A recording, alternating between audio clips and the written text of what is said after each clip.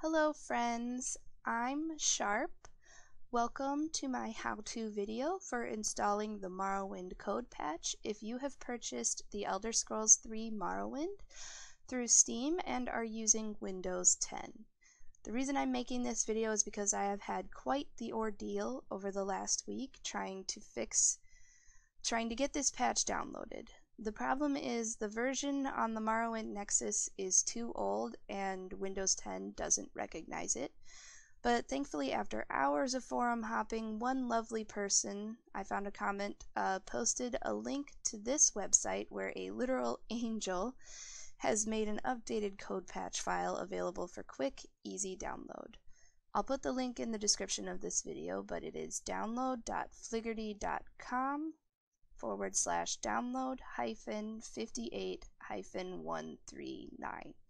That'll take you directly to this uh, website where all you have to do is click the download button here. So we'll go ahead and do that now. Uh, and the reason that I need this patch is because there's a bug in the game where even if you have all of the sounds turned down, if you're wearing armor and you get hit in combat, the sound effect will be painfully loud, and your poor eardrums will be quite out of sorts. Uh, once the file is downloaded, you need to find it in your Downloads folder. And if you just try to click it down here from your browser, Windows will say, I don't know how to open this file.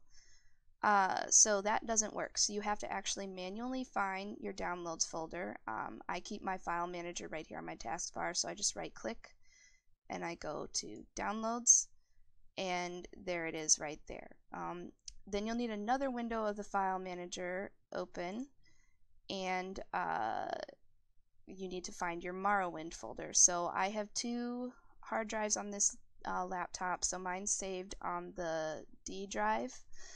Uh, but what you're looking for is the folder Steam Apps, and then you go to Common, and then Morrowind should be under that. Um, if you only have one hard drive, uh, by default it saves to the C drive, and you want to make sure that it's in users, public, public games. Uh, then there will be a Steam apps folder, and then the common folder, and Morrowind will be under that. So we're just going to drag and drop the Morrowind code patch right to the Morrowind folder, like so.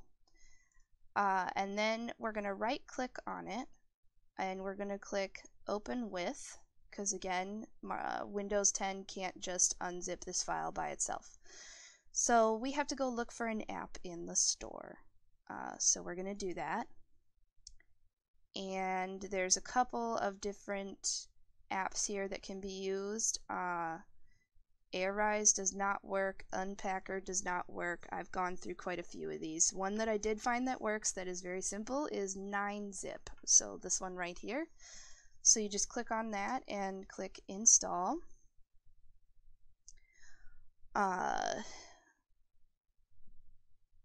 so it's going to take a second here. Um, but yeah, the I don't know why it was such an ordeal to do this, but here we go. So it'll install it. We don't need to launch it or anything. Just close this out. Now we'll hit open again and it'll automatically bring it up in 9-zip. So we click the extract all button here and we want to put this right back in the Morrowind folder. So just click my Morrowind folder comes up automatically because I've been doing this so much. But if you have to, you'll go to this PC, click whichever hard drive it's on, yada yada. But get it back to the Morrowind folder and it will go ahead and extract. And at that point, you just close all of this out. If you go back in here, now it's created a Morrowind code patch folder, uh, but it's not going to work if you try to run it from there. So we have to take everything that's inside that folder, drag it back out to the Morrowind folder. So now this folder is empty, as you can see, so you can just go ahead and delete it. Sorry, delete it. Uh, now the executable is here. Uh, so you just double click it and it will run. Say yes, you can do whatever you want to my game, just fix it please. um, by default, uh, it has only the necessary bug fixes and everything clicked. Uh, there is a whole bunch of goodies in here that you would just have to go through and decide on your own whether you wanted to install them, but just installing the default stuff will fix the audio issue. So I'm not going to add anything extra here. I'm just going to apply the chosen patches. And it says the patch has succeeded and that's literally all you have to do. And then from there, you can go ahead and run your game. Uh, and by default, when I launch my game, the sound is pretty loud. But just go ahead and turn it down. There we go. And load it up. And when you get in there and you get into a fight, you will find that your poor eardrums are no longer being assaulted. So that's it. Um, I want to dedicate this video to Banana9000, one of my viewers whose eardrums have suffered as much as mine and who did their level best to help me.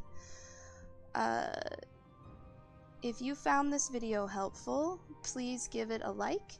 If there's any other Morrowind issues you'd like me to quest to find the solution for, you can leave a comment and I will do my best to make a video for that as well.